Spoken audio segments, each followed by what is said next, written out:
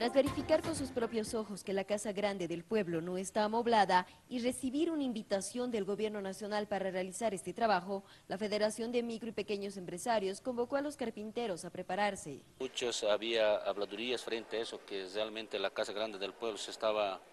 eh, nuevamente equipando con los muebles chinos, no existen tal eso frente a eso. Ha sido claro el Ministerio de la Presidencia frente a eso, nosotros tenemos un avance grande frente a eso para poder nosotros hoy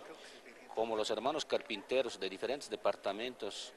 netamente en Cochabamba tenemos varios carpinteros que se van a presentar ahora, tenemos con la,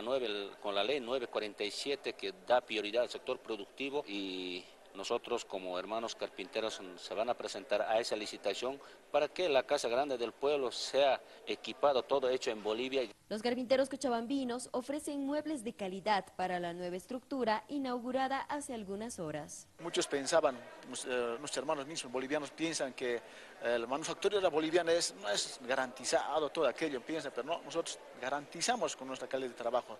lo que como corresponde este calidad de trabajo no, no solamente va a estar así un, cliente, nada, este es solamente a nuestro casa, casa de pueblo, casa grande, eh, tiene que ser de calidad,